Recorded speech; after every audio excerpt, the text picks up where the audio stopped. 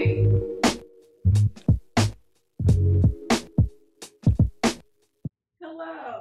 Um, my name's Rebecca. I eat books and I am the most spoiled girl on the planet. Recently had a large influx of books.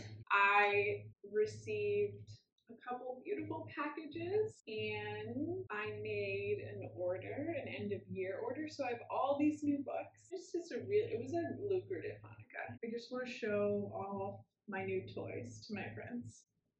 So here we are. So I thought I would show you what I got and you can help me decide what to read in what order. Yeah, me do some organizing here.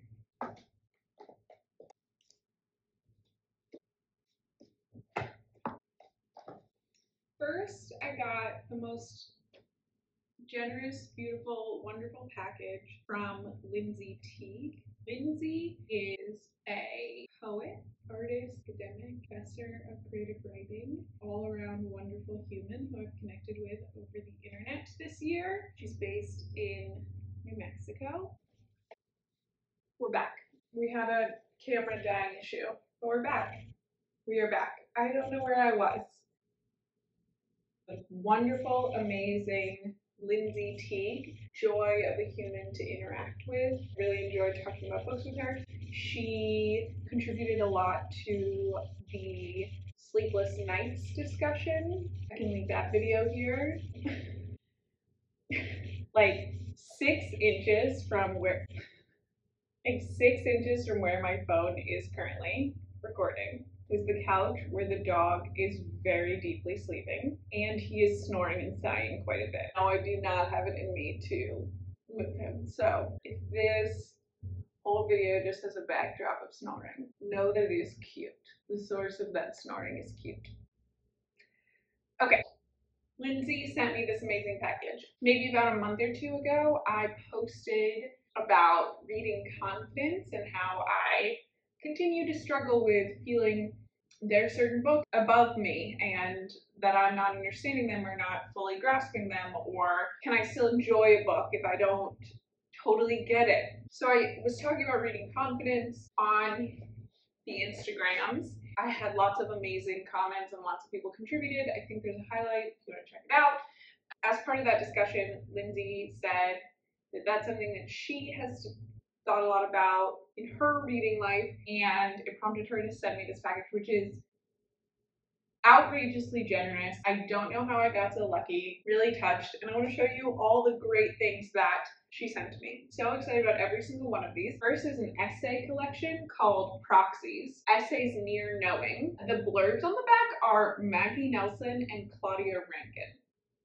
No big deal. These 24 single subject essays train focus on a startling miscellany of topics that begin to unpack the essayist himself and his life's rotating concerns sex and sexuality, poetry and poetics, subject positions in American labor, and his upbringing in working class primitive Baptist central Piedmont, North Carolina. This is essays written by a poet I have talked about this constantly. I need to do a video about this, but books, prose, literature written by poets is my favorite thing to read. I know that's not a real genre. Poets have an amazing attention to words that the rest of us don't always have. And I just find everything written by poets to be incredibly enjoyable. So I'm very excited about this essay collection. She also sent me The Member of the Wedding by Carson McCullers.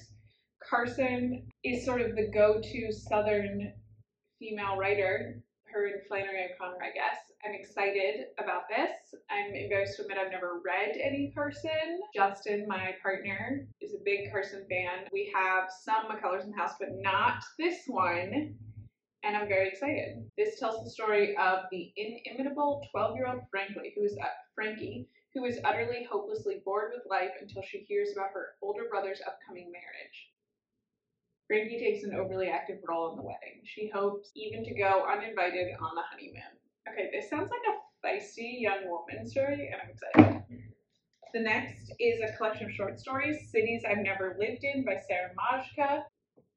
Fearlessly riding the line between imagination and experience, fact and fiction, the linked stories in this debut collection offer intimate glimpses of a young New England woman whose life must begin afresh after divorce. Traveling the roads of Maine.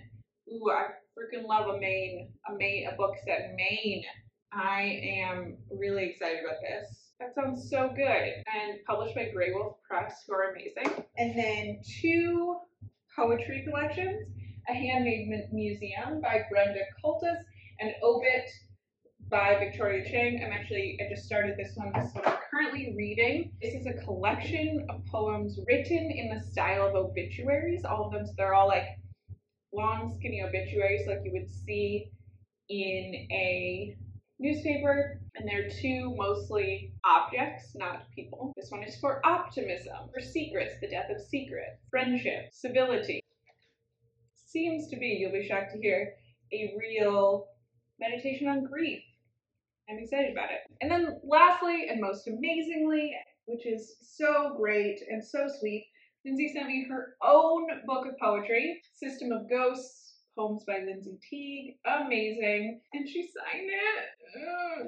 I, of course, dove into this right away. I could not wait. I've read a few here and there, just picking through. I will give it much more time and read it cover to cover soon. I also posted a picture of one of the poems on Instagram and a couple people commented and were like, this is amazing. I was like, I know, it's from Lindsay. She's amazing. So that is the package from Lindsay that I did not deserve. I'm so grateful. Thank you so much, Lindsay. You're amazing.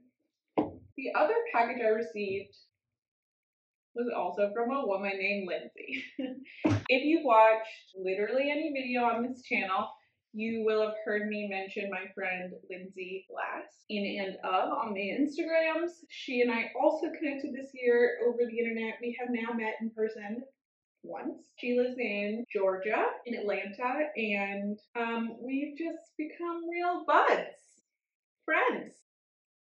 Who knows if it's real? We'll find out. She sent me an amazing package because She's amazing. We have sent a few books back and forth this year, although she has outdone me on that front by leaps and bounds, mostly because she's read more than I have, which is really annoying. She reads faster than I do. If you watched my last video about books I'm giving for the holidays or books I recommend giving for the holidays, I mentioned in that video that the book I wanted for the holidays was Asylum Road by Olivia Sudjic, and it was already in the mail to me. Can you believe that? We must be real friends because she read my mind. And I've already read it. I read it immediately when it arrived and I loved it. It was great. We have a unhinged female narrator, protagonist that you kind of love to hate in a real Elena Ferrante kind of way. Like, this woman could easily be the same woman from Days of Abandonment. I could be wrong. This book is also about the dissolution of a relationship Love that. This book has the best bad sex scenes I've ever read. You heard that. That was the dog. Come on. Never before have I read scenes of completely consensual sex where that like that sounds terrible. I want nothing to do with that. Sudjic really nails the bad sex couple relationship you are rooting to fail. Loved it. The ending is phenomenal. And then she sent me three more books, which I have not read yet. Daybook by Anne Truitt. This is a journal. Journal kept by an artist, which is also a favorite genre, not genre of mine. She was an artist exhibited at the MoMA, the Whitney, the Met, the National Gallery of Art, the Hirshhorn. You get it, established artist. And this was her journal that she kept. One of my favorite books I read all year was a journal kept by the writer May Sarton. And May Sarton blurbs this on the back. It says, Daybook is a rare gift, illuminating and nourishing, a journal to read and reread. That sounds amazing. I am very excited for this one. Louise Erdrich, Love Medicine. I have read some Erdrich. I've read La Rose, The Roundhouse, but I have not read this one. The stunning first novel in Louise Erdrich's Native American series, Love Medicine tells the story of two families, the Kashpaws and the Lamartines, written in Erdrich's uniquely poetic, powerful style. It is a multi generational portrait of strong men and women caught in an unforgettable drama of anger, desire, and the healing power that is love medicine. Blurbed by Anne Tyler and Toni Morrison. No big deal. Lastly, Joy Williams, The Visiting Privilege. This is new and collected stories. I had mentioned to Lindsay that I had not read any Joy Williams, who I know she loves. This seems to be sort of the Joy Williams go to text for diving into her body of work. So I'm looking forward to getting to that.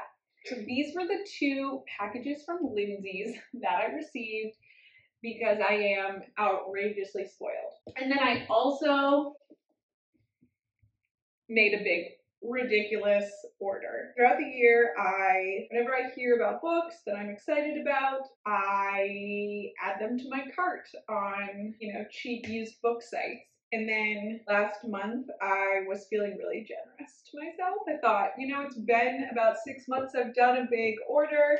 I'm going to do an end of the year order, just one big end of 2021 order. So I ordered a bunch of stuff that was in my cart. Most of these things I don't remember where I heard about them or was recommended them. So if you recommended them to me, let me know in the comments below.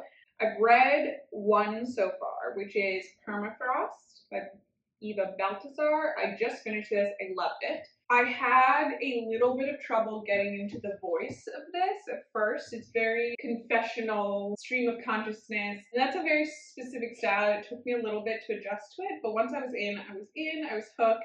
It is really sexy, a great queer coming of age story, but it's also funny, dry, the humor is dry, but it's also sad, heartbreaking, dark. It's a story about suicide and depression. And I loved it. And the last chapter you have to read like four times. It's a rule. You just you have to read it four times in a row when you finish.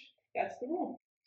Uh, and I it showed up in the order. Wasn't sure who had recommended it or where I saw it, but then after it showed up, Victoria from Sunshine is Sexy on Instagram posted that it was one of her favorite reads of the year. That was all I needed. I read it. I DM'd her and said, I read this because you said it was your favorite. She said, Oh, it was recommended by Lindsay Glass. Everything goes back to Lindsay. If you're wondering if I'm obsessed with her, I am. Keep going. We got a, a big stack here. Will and Testament by Vigdis Hjorth. I read another Vigdis Hjorth book earlier this year in a vlog I did, and I loved it. I had read that there was one other Vigdis Hjorth that has been translated to English.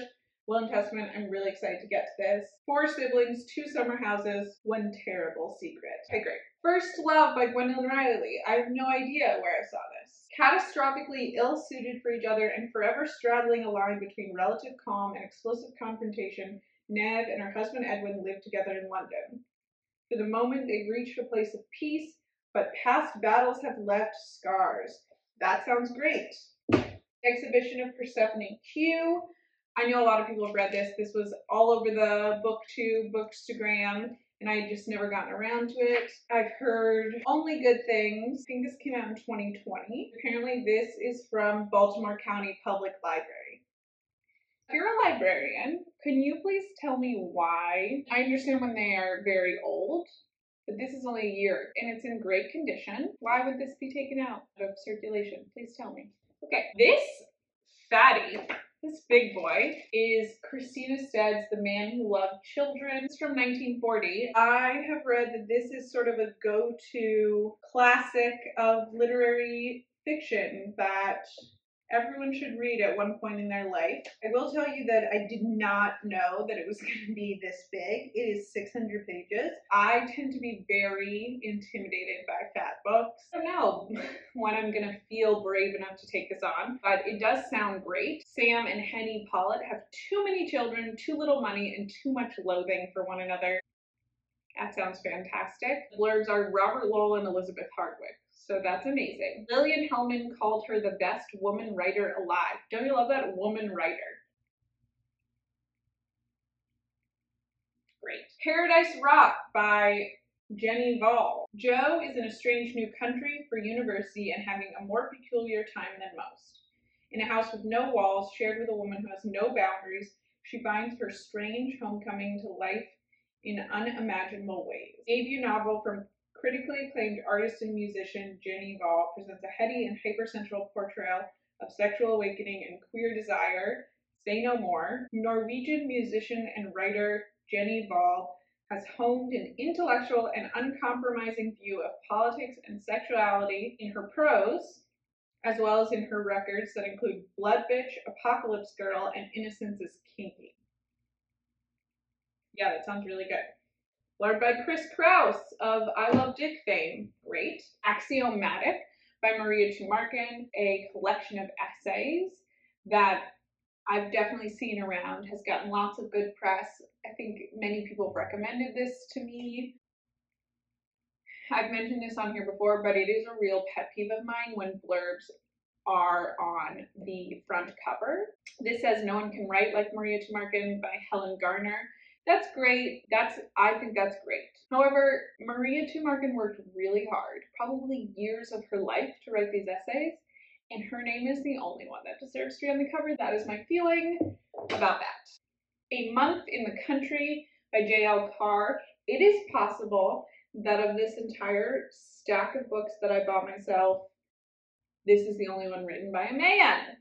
YRB Classic blurbed on the back by Penelope Fitzgerald. Takes place in the English countryside, copyright 1980. Deeply charged poetic novel, you know I love that. A veteran of a broken marriage arrives the remote Yorkshire village of Oxgodby. Is that a real place? UK friends, let me know. To restore a recently discovered medieval mural in the local church. Living in the bell tower. This sounds very romantic and beautiful. The Pumpkin Eater by Penelope Mortimer. This I do know who recommended to me. This was Jessica of Jessica's Book Stack. She has been insisting I get on this one. So Jessica, this is for you. Mrs. Armitage insisted it was because of the dust on everything in the house, but perhaps it was the oncoming death of her fourth marriage that drove her to the psychiatrist. Sounds like a thinky woman book. Also, if there has been one theme, it's been disillusion of marriage and divorce. We love it. Strange Hotel by Eimear McBride. This I know my boy Ben, Ben Green, read this this year. Said it was really weird. And I am here for weird and I'm here for Ben. Iris Murdoch, a fairly honorable defeat. 2021 was the year that I read my first Murdoch. I read The Severed Head, loved it. 2022 will be a year I read a lot more Iris Murdoch. This I saw called The Queerest Murdoch. Uh, so I decided that it was one I had to read next for sure. A dark comedy of errors demonstrates how easily loving couples, caring friends, and devoted siblings can betray their loyalties. Sounds fantastic. An exploration of love, its excesses, missteps, modest triumphs, and fairly honorable defeats. Little Constructions by Anna Burns. This year I read Milkman. This is Anna Burns' follow up to Milkman. Really enjoyed Milkman, so Thought I'd give it a try. Anna Burns is from Northern Ireland. Milkman was about the Troubles. This takes place in the small town of Tiptoe Floorboard. That can't be real. A close knit family of criminals and victims. Sounds great. Anybody read this? Let me know. It definitely has not gotten as much publicity as Milkman. Last book, we're almost there, guys. Coming Bad Days by Sarah Bernstein. I think of all of these books, this is the newest one, copyright 2021. I think this is a book that is only out in the UK, not out in the US yet. Blurred by Olivia Sudjic on the back. She calls it sinewy and seductive. A woman leaves the man she lives with. If my husband is watching this, this is a coincidence. I'm not obsessed with divorce right now. Please don't be scared. A woman leaves the man she lives with and moves to a low stone cottage in a university town. She joins an academic department. I love an academic book. This is also a theme I love women in academia. Okay, I think I'm really excited to read this one. I'm really excited to read Daybook. Very excited about this short story collection, Cities I've Never Lived in, um, and all of them. I want to read them all. Will and Testament for sure. Paradise Rot sounds really good. I don't know how I'm going to choose. I have some reading to do. I'm just the luckiest human in the World, Spoiled Completely Rotten. Thank you to my Lindsay friends for sending me these beautiful packages, to myself for sending me this beautiful package. Please let me know if you've read any of these books, if you're excited about any of these books, which ones do you think I absolutely have to read immediately, and which ones should language on my TBR for 12 to 18 months until I get around to it. All right. Thanks for watching. Love you, nerds. See you soon.